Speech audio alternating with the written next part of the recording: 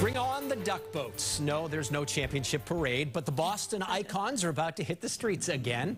After a pandemic shortened season last year, the amphibious vehicles are ready to roll. Yeah, now tour organizers have safety in mind, of course, and a new target audience. WBZ's Rachel Holt shows us. The oldest public subway system in the United States.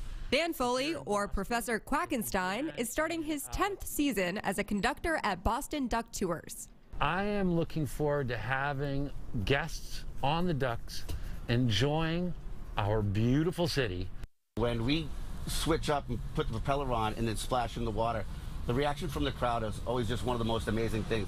Business was far from smooth sailing last year with a shortened 2020 season that began in July.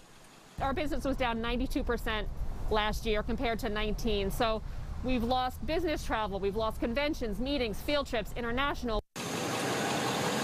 According to Boston Duck Tours CEO Cindy Brown, that led to a $4.5 million loss in revenue. While tourism remains down, the company is shifting its focus to the locals. Last year, uh, we got a lot of people that were more local to Boston. After the tour, they will say to me, I never knew that about Boston, about one thing or another.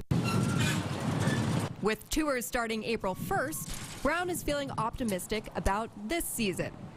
We're really only about a week and a half off from a normal start date. We should be in really good shape to have a, a, a much better year than last year. Starting out, 15 of the company's 27 duck boats will be in use, operating at 50% capacity. So we'll be able to have a group on the duck and then we'll space them with other groups. So it'll be a little bit more spread out. Obviously the windows on the ducks help for, for airflow. I'm really looking forward to getting back to work and, and getting back to, you know, just driving through the city and, and seeing everybody out there again. For WBZ News, I'm Rachel Holt.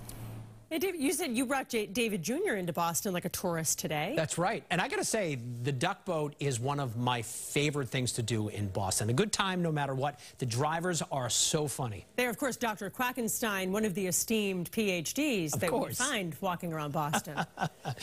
Professor Quackenstein. Love it. We still have